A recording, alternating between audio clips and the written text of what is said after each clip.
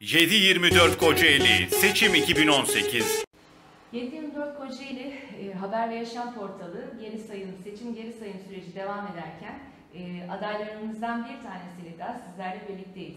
E, Sayın Adil Güles, İyi Parti Kocaeli 6. sıra milletvekili adayı. Efendim hoş geldiniz. Hoş Önce sizi biraz tanıyalım lütfen. Ben kendimi İzmitli olarak biliyorum. Doğum yerim Gümüşhane ama çok küçük yaşta 4 yaşımızda falan İzmit'e taşındık. Yani Kocaeli'ye taşındık. Ve Hereke'de oturduk. 4 sene ilkokulun bir kısmında Hereke'de oturdum, yarısını okudum.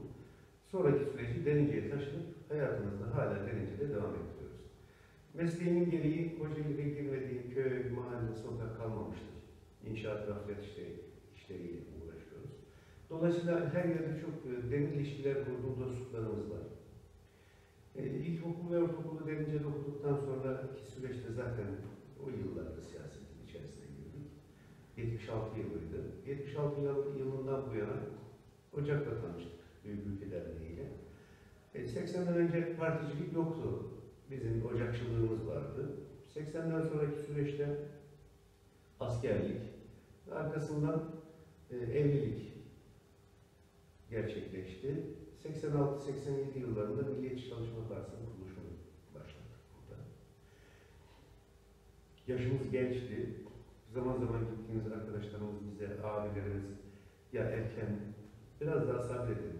Zamanla olur bu işler. Çünkü başka partide yer almıştı büyük bir kısmı zaruretten doğan bir e, durumdu. Ve biz parti kurduk. Zorluklara rağmen. Sonrasında MÇP'nin MHP ilhakı söz konusu olduğu 93 ya da 94 yıllarda. MHP'de siyasete devam ettik.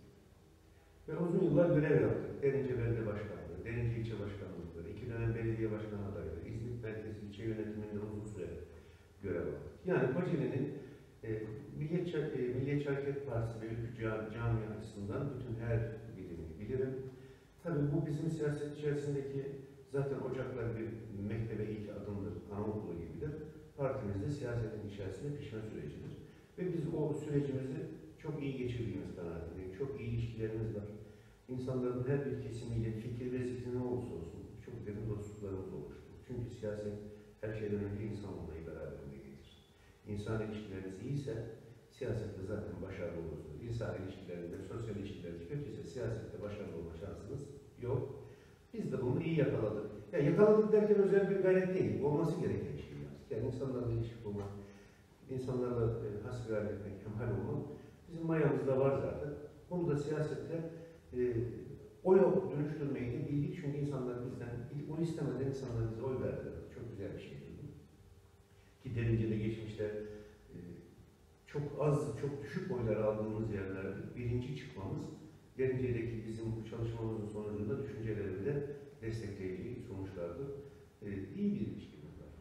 Gençlik yıllarımdan beri siyasetin içerisindeyim.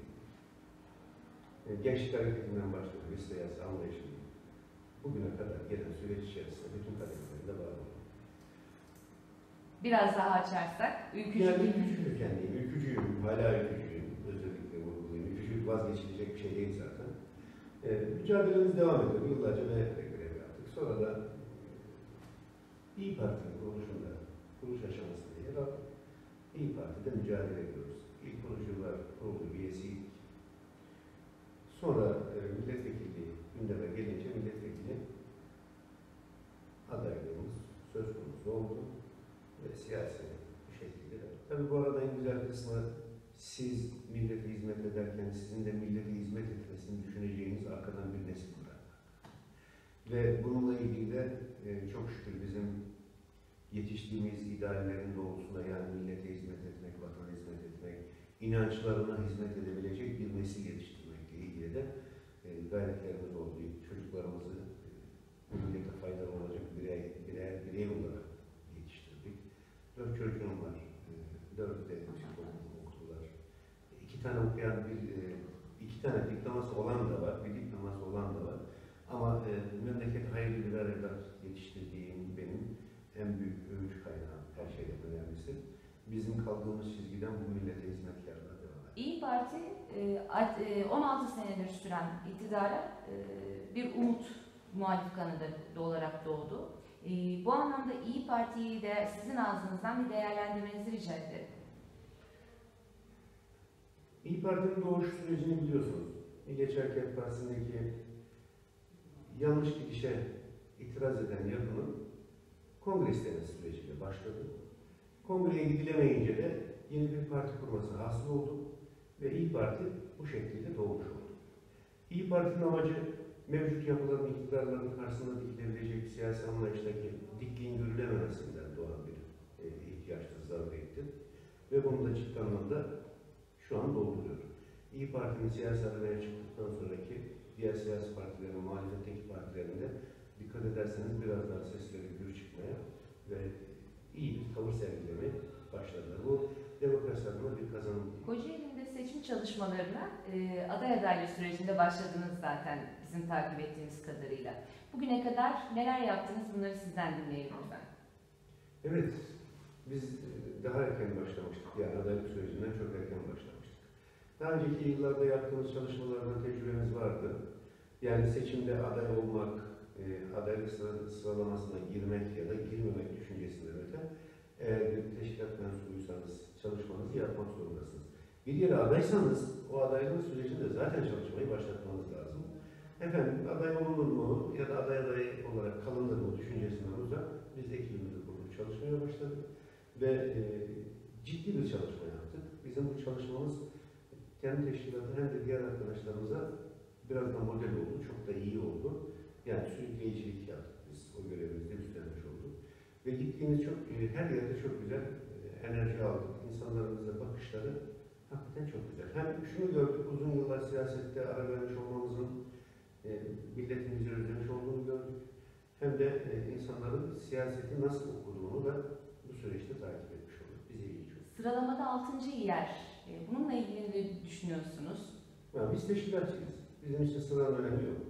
Bizim için mücadelenin önemi var. Ee, sıra işi, milletvekili olma işi ya da herhangi bir yere aday olup kazanma işi kısmet işi. Ama mücadele herkesin yapması gereken şey. Biz teşkilat terbiyesin'i böyle aldık. Biz görevimizin gereğini yaparız. Gerisi Allah'a. Evet, çalışmalarınızdan biraz bahsetmenizi rica edeceğim. Ya biz çok yoğun bir tempo içerisinde çalışıyoruz. Güzel bir programlama ekibimiz var. Yani SKM dediğimiz güzel bir ekibimiz var. Biz bu ekibi aday adaylık sürecinde oluşturmuştuk. Hala devam ediyor. Ve bizim çalışmalarımızın içerisinde e, değmediğimiz el kalmasın e, ağırlıklı düşünce. Çünkü basın ve medyada yerelin dışında çok fazla yer alabilme şansımız yok. Öncelikle huzurunuzda yerel basına da teşekkür edeyim. Çünkü bütün arkadaşlarımız bizimle ilgileniyor basın mensubu arkadaşlarımız. Ve bunu samimiyetle söylüyorum. Yani çok da hoş bir şey bu. Bu da benim ilişkilerimden dolayı, bu arkadaşlarımla kurduğum ilişkiden dolayıdır diye düşünüyorum.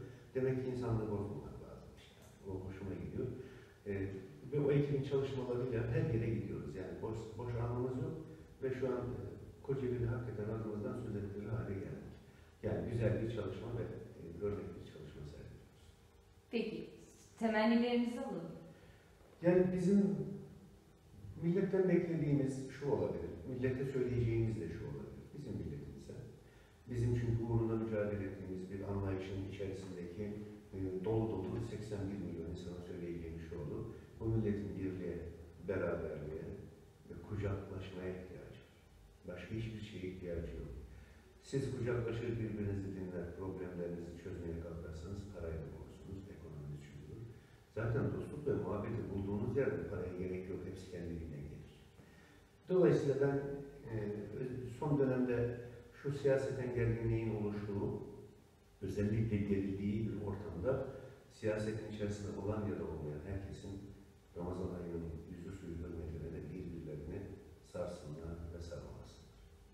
İyi şeyler. Çok teşekkür 7-24 Kocaeli Seçim 2018